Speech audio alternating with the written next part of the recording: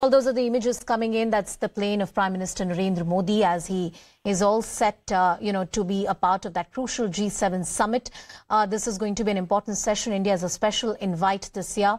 There are various concerns that India is going to, uh, you know, put to the table, and the Prime Minister also highlighted them in a crucial interview that he's given Earlier, he spoke of India and Pakistan. He spoke of Russia, Ukraine, and what is it that India takes to the table. Uh, Abhishek, how does it work? What's the official agenda of G7? I mean, I'm not talking in context of India, but largely amongst the G7 nations.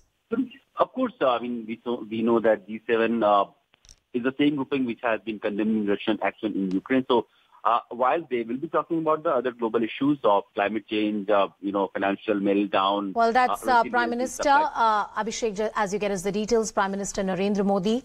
He's uh, there in Hiroshima right now, and he's going to take part in crucial uh, negotiations and at a global stage, India's presence is going to be important.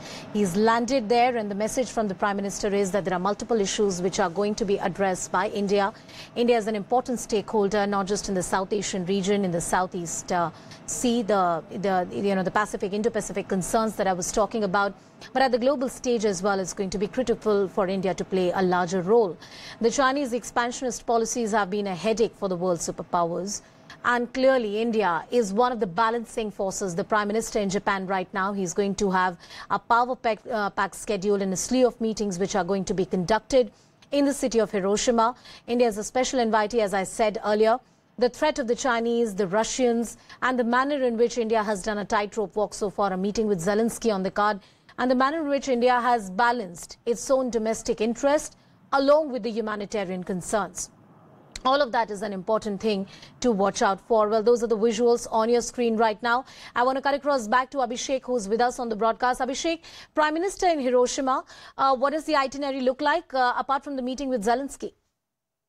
Uh, Pakistan uh, Prime Minister Modi is going to have a very busy agenda, uh, starting from tomorrow's uh, meeting that will be starting uh, somewhere early morning from Indian time, Indian Standard Time. It will be somewhere okay. around 3:30 in the morning. Uh, and after that, Prime Minister will also be having a bilateral meeting, bilateral meetings with uh, uh, you know, uh, Japanese Prime Minister Fumio Kishida is slated for the evening, while he'll be having an afternoon bilateral meeting with uh, Emmanuel Macron, French President. Uh, he will also be having bilateral meeting uh, with other like uh, from, uh, you know President of South yeah. Korea and Prime Minister of uh, Vietnam as well.